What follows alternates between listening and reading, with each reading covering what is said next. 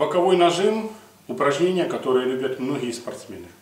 Многие великие спортсмены выполняют это упражнение своеобразно и по-своему.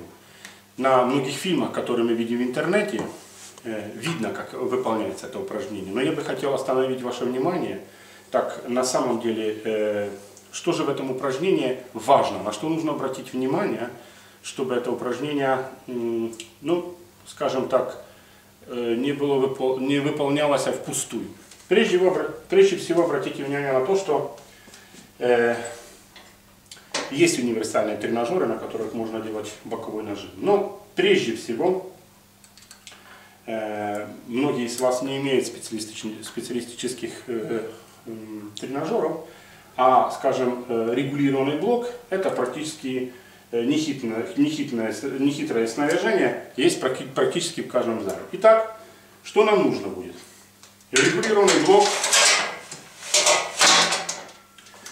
половинку стола, или, скажем, целый стол, и, скажем так, петля.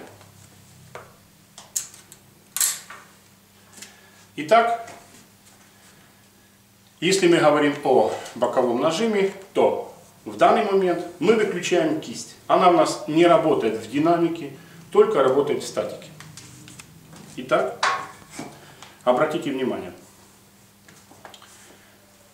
Это движение должно повторяться так само, как во время борьбы. То есть, если вы встаете в данный момент на левую руку, встаете возле стола, ногой своей, левой тоже ногой, скажем так, обвиваете его возле ножки, или так как вам удобно это упражнение делать. В данный момент я, например, это упражнение делаю, делаю э, за помощью э,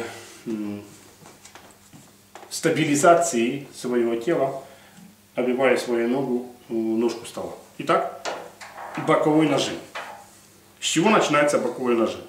Прежде всего от оси, то есть с положения, в котором спортсмен начинает свое э, движение по команде Радигу и выполняем боковой нажим.